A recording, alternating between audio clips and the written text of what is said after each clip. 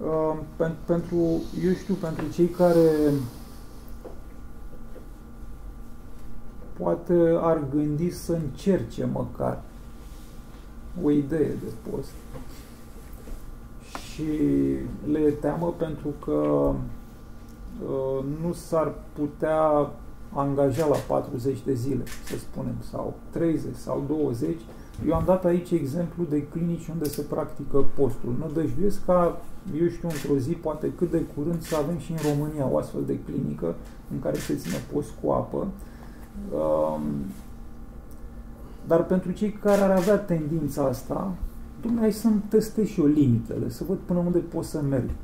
În clipa asta, în România, se ține post cu apă de o săptămână, spuneam, cu trei zile de revenire, undeva prin zona uh, Vatra Dornei, de către Cezare Lisei. Omul e foarte cunoscut și face, nu, din punctul meu de vedere... Mai țin, mai țin și alții. Mai, a, mai da. țin, mai țin. Spre, spre Ploiești este o, o clinică a dentiștilor sau nu știu așa. Spre Ploiești? Da, da, da. Și țin post cu apă? Da, da, da.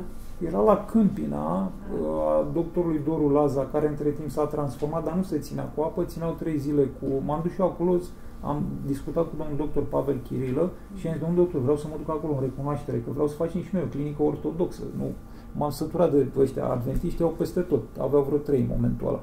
Și m-am dus acolo să studiez situația. Și a fost foarte interesant așa, n-am putut să stau uh, tot parcursul, că deja mă disperaseră, adică aveau de-alea de ale lor, în fiecare zi se adunau dimineața și povesteau de Domnul Filip, dar dumneavoastră de ce nu veniți? Păi nu vin, că e despre altceva. Și nu eram prea adânc așa în biserică. Și am zis, dar eu dacă vin vorbesc. Păi veniți să... Nu, că vă încurc lucrurile pe acolo, vă deranjez treaba și nu are rost. Și până la urmă am plecat.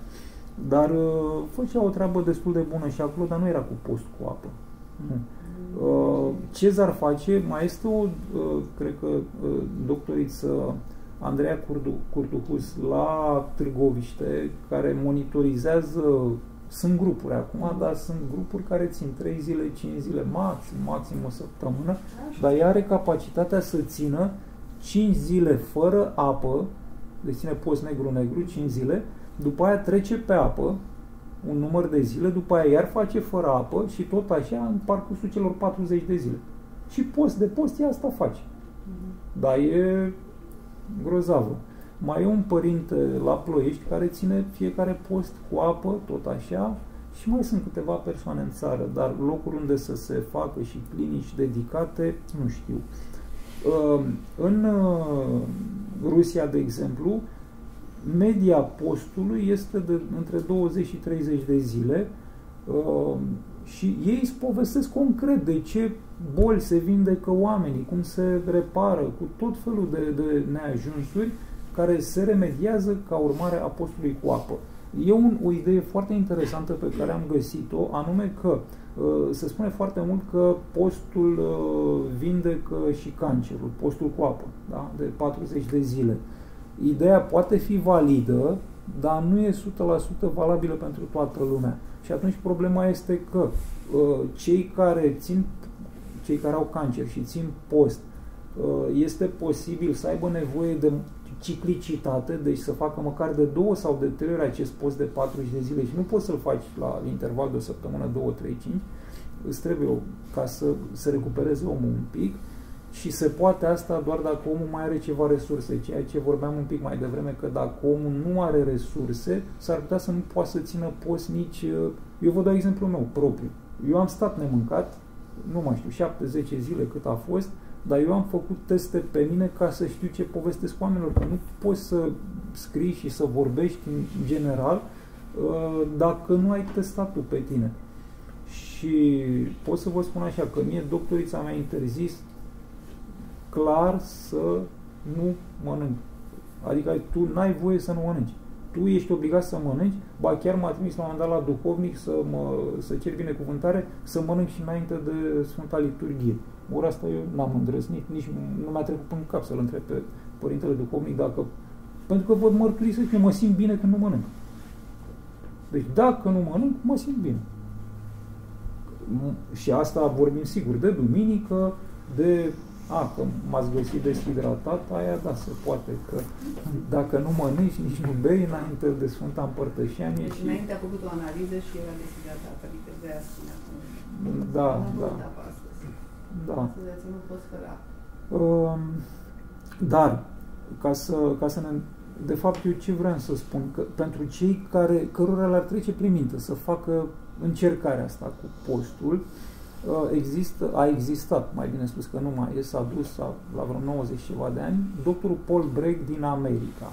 Doctorul Paul Bragg este unul dintre cazurile acelea la care probabil că se referă doamna doctor, Uh, care, fără să fie ortodox, el descoperă creștinismul ajungând într-o mănăstire și îl frapează modul în care mâncau sau nu mâncau călugării și își dă seama că e o legătură între acest post și starea lor uh, de elevație spirituală și face precizarea asta undeva. Doctorul Paul Bragg, și aici este, uh, eu știu, dacă vreți, ideea pe care vă transmit, că el în tinerețea lui a avut o viață obișnuită într-o fermă din Statele Unite, a mâncat tot felul de porcării, s-a umplut corpul cu... și a trebuit să ia niște medicamente și s-a intoxicat. La un moment dat și-a dat seama că postul este bun. Și ce făcea? O zi pe săptămână nu mânca nimic. Și asta vă recomand cu îndrăzneală tuturor ca o zi pe săptămână să nu mâncați. Aia probabil că cea mai potrivită pentru noi ca ortodoxi ar fi vinerea, desigur. Beți apă, beți sucuri, dar puteți să postiți. Dacă vrem să fim așa foarte... Vă dați seama că vă scade și factura la alimente cu un anumit procentaj. Dacă nu mâncați vinerea, nu mâncați nici miercuri dimineața, nu mâncați nici duminică dimineață. Țineți și joi. Aia deja... Da. E, Paul Break ce a făcut? O zi pe săptămână nu mânca deloc și din 3 în 3 luni, că el nu avea reperul ăsta al posturilor, din 3 în 3 luni, nu mânca șap, între 7 și 10 zile. Deci doar apă. Și a spus așa, că asta poate să țină oricine. De asta și cezarele să-i face cu oamenii. La el, media de vârstă a celor care sunt la el în tabără e 50-70 de ani, să știți. Dacă aveți semne de întrebare, cei care ați trecut, de, sunteți la plus 50, să știți că majoritatea celor care merg la el în tabără sunt exact în intervalul ăsta de timp, de, de, de vârstă. Și el spune că 7 zile, 10 zile nu ai o problemă să nu mănânci. De la 7-10 zile în sus ar trebui să te verifice un medic. Uh, și aici mai deschid o paranteză la multiplele paranteze. Știți cât este intervalul cel mai mare în care un timp un om n-a mâncat în viața lui, consecutiv. 382 de zile, un scoțian care avea 200 și de chile și a zis că el nu mănâncă până în momentul în care ajunge la greutatea uh, corectă. Și de la 207 a scăzut până la 82. Când a ajuns la 82 s-a oprit și a fost unul dintre puținii la care nu s-a manifestat efectul yo-yo, adică acela de revenire sau creșterea greutății și mult peste ceea ce a avut înainte. Deci 300 sub supraveghere medicală, îi mai dădeau când și când niște minerale, niște electrolizi, ceva, dacă simțeau că e nevoie, dar el a putut să stea 382 de zile fără mâncare. Și doctorul Paul Breck spune așa, ca să nu ai nicio apăsare, că stai prea mult, că 20 de zile, 30 de zile, 50 de zile, fă din 3 în 3 luni între 7 și 10 zile. Ori noi, voi vă dați seama, deci din 3 în 3 luni înseamnă de 4 ori pe an. El vorbește trimestrial. Și noi tot așa avem 4 posturi pe an. 4 posturi. Două mai mari, două mai mici. Și acum nici nu știu câte zile are anul ăsta postul Sfinților Apostol, probabil că nu foarte mult, ținând cont că e trecut de 15 aprilie, dar asta este ideea. Dacă ați putea în fiecare săptămână, o zi, după care, când vreți să tindeți către săptămâna aia de post, să o luați, uite cum a făcut doamna doctor, a recomandat unei paciente și e foarte bun asta. Măi, ține și tu post miercurea și vinerea. Miercurea și vinerea. Păi, înaintașii noștri, gândiți-vă că ei nu mâncau deloc miercurea și vinerea, tu poate știi, Dorel, că, na, ă, așa, uh, și dădeau la coasă și munceau și făceau toate miercurea și vinerea. Nu mâncau. Cel până seara măcar. Asta putem să facem și noi.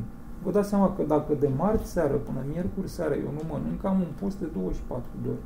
Dacă nu mănânc de joi seara până vineri seara, am un post, încă un post de 24. Dacă o duc și până sâmbătă dimineață, sunt 36 de ore. Într-o săptămână. Mai am cele 18-17 ore câte sunt de sâmbătă până duminică, după Sfânta Liturghie, și în momentul ăla vă garantez că altfel arată fiziologia noastră. Asta pe de o parte. Ce a făcut doamna doctor și e foarte, foarte bună ideea, i-a recomandat acestei paciente, grav bolnave de altfel, după ce a ținut miercurea și vinerea, să lege și cu joia. Și astfel femeia avea trei zile în care corpul, sunt convins că doamna doctor poate să povestească mult mai bine, dar se produce acea autofagie în care începe corpul să mănânce în primul și în primul rând ceea ce nu are ne- toxinele alea și tumori și așa mai departe, de care corpul nu are nevoie. Și pe tine te scapă de un balast care nu ți este de folos în niciun fel și ești bine, mersi. Eu astăzi, probabil că dacă nu respectam ce mi-a zis doamna doctor acum 16 ani, nu mai eram în fața dumneavoastră, dar îi dau slavă lui Dumnezeu că am ajuns aici să ne bucurăm împreună de astfel de momente și vă mulțumesc. Îi mulțumesc și lui Dumnezeu. Da.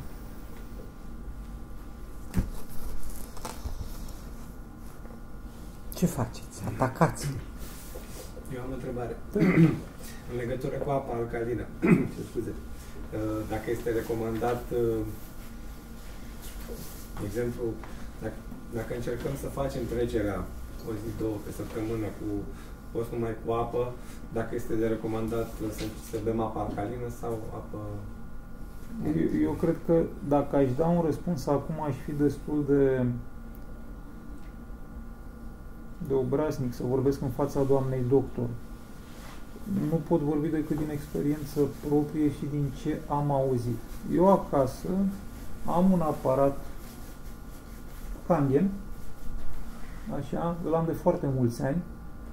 Uh, Marian, înțeleg că exact această prezentare o va face după ce noi vom încheia aici. Uh, este un aparat excepțional uh, dar eu am înțeles că nu e bine să bei continuu apă alcalină, din potrivă. Dar aparatul Kangen, care curăță foarte, foarte bine apa, îți face apă și cu uh, pH 7. Și probabil că în cea mai mare parte a timpului acea apă este potrivit să o bei.